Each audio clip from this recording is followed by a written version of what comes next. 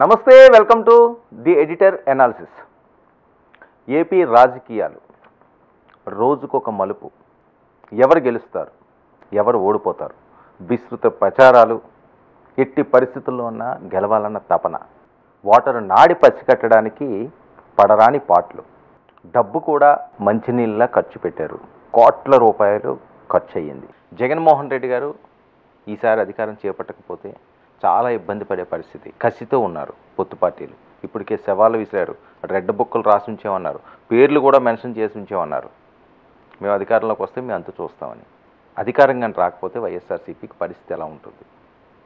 ఊహించడానికే ఆంధ్రప్రదేశ్ రాజకీయాలు అందని విధంగా ఉన్నాయనొచ్చేమో మరొక వైపు పొత్తు పార్టీ ఓడిపోయినా జగన్మోహన్ రెడ్డి గారు ఆ పార్టీలనే పూర్తిగా కనుమరుగయ్యేలా చేయడానికి కూడా వెనకాడరు అన్నది. పోలింగ్ శాతం విషయానికి వస్తే రికార్డు స్థాయిలో పోలింగ్ అయ్యింది. గత ఎన్నికలతో పోలిస్తే మంచి పోలింగ్ శాతం ఈసారి నమోదవడం జరిగింది. ముఖ్యంగా జనసేన పోటీ చేస్తున్న ఇరవై ఒక్క స్థానాల్లో పోలింగ్ శాతం ఏ రకంగా ఉంది వివరంగా తెలుసుకునే ప్రయత్నం చేద్దాం. అంతేకాకుండా అక్కడ గెలుపోవటంలో కూడా ఒకసారి పరిశీలిద్దాం. పి గన్నవరం. పి గన్నవరంలో మనం చూసాం ఎన్ని ట్విస్టులు జరిగినాయో. పి గన్నవరం టికెట్ మహాసేన రాజేష్ అన్నారు తెలుగుదేశం పార్టీ నుంచి ఫస్ట్ లిస్ట్లో ఆయన ప్రకటించారు. ఆ తర్వాత ఆయన మీద అసమ్మతులు ప్రకటించారు. ఆ తర్వాత బీజేపీ వాళ్ళు పెద్ద ఎత్తున ట్రోల్ చేశారు. ఆయన వెనక్కి తగ్గాడు. తర్వాత తెలుగుదేశం పార్టీకి ఇస్తారనుకున్నారు. మరి తెలుగుదేశం పార్టీకి కూడా లేదు. బీజేపీకి ఇస్తామనుకున్నారు. బీజేపీ కూడా అక్కడ లేదు.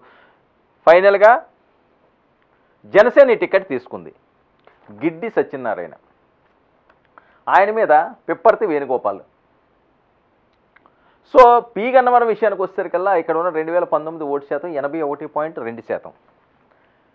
రెండు వేల ఇరవై నాలుగుకి వచ్చేసరికల్లా ఎనభై మూడు పాయింట్ నాలుగు ఆరు శాతం. అంటే సుమారు టూ పర్సెంట్ ఓట్స్ పెరిగింది.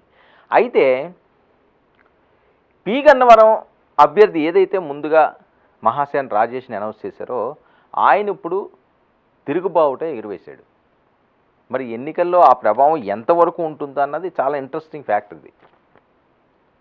ఎట్టి పరిస్థితుల్లో జనసేన ఉన్న అభ్యర్థులందరినీ కూడా ఓడిస్తాను అని చెప్పి ఆయన బహిరంగంగానే మాట్లాడే పరిస్థితి. తెలుగుదేశం పార్టీ మీద అంతలాగా ఆయన అటాక్ చేయకపోయినా జనసేన విషయానికి వచ్చేసరికల్లా ఆయన అయితే కాంప్రమైజ్ అవ్వట్లేదు.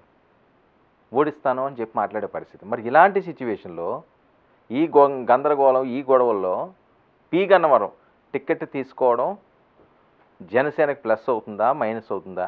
ఇక్కడ కూడా ఓట్ పర్సంటేజ్ టూ పర్సెంట్ పెరిగింది. మరి తెలుగుదేశం పార్టీ శ్రేణులు పూర్తిగా సహాయ సహకారాలు ఈయనకి అందిస్తారా? ఇది చాలా కీలకం. ఎందుకంటే పూర్తిగా ఆయన మీద వాళ్ళ మీద ఆధారపడాల్సిన అవసరం వచ్చింది ఇక్కడ ఈయనకి గిటి సత్యనారాయణకి. జనసేన ఓట్ బ్యాంకు అంత ఎక్కువగా సక్సెస్ వైపు వెళ్ళే పరిస్థితి ఉండదు ఇక్కడ. తెలుగుదేశం పార్టీ అసమ్మతుల్లో ఉన్నారు. ఆవేదనలో ఉన్నారు. ఒక టికెట్ రావడం తీయడం వీళ్ళ వర్గాలందరూ అందరూ దాని మీద కోపంగా ఉంటారు. అలాగే మహాసేన్ రాజేష్కి ఇచ్చారు మా వాళ్ళకి ఇవ్వలేదు ఇంతకాలం జెండా మోసిన వాళ్ళు కానీ తెలుగుదేశం పార్టీలో ఉన్న ముఖ్య నేతలు ఆల్రెడీ అసమ్మతులు ప్రకటించారు. ఈ ఈ రచ్చంతా అవబట్టికే కదా రాజేష్ని మళ్ళీ ఆయన టికెట్ వదులుకోవాల్సి వచ్చింది. మరి ఇలాంటి సిచ్యువేషన్లో గందరగోళ పరిస్థితుల్లో జనసేన తీసుకున్న ఈ టికెట్ పెరిగిన రెండు పర్సెంట్ ఓటు శాతం ఎవరికి ప్లస్ ఎవరికి మైనస్ అయ్యే ఛాన్స్ ఉంటుంది. ఎవరికి ఇది చేటు? చాలా కీలకంగా ఈ నియోజకవర్గంలో కూడా మనం చూడబోతున్నాం.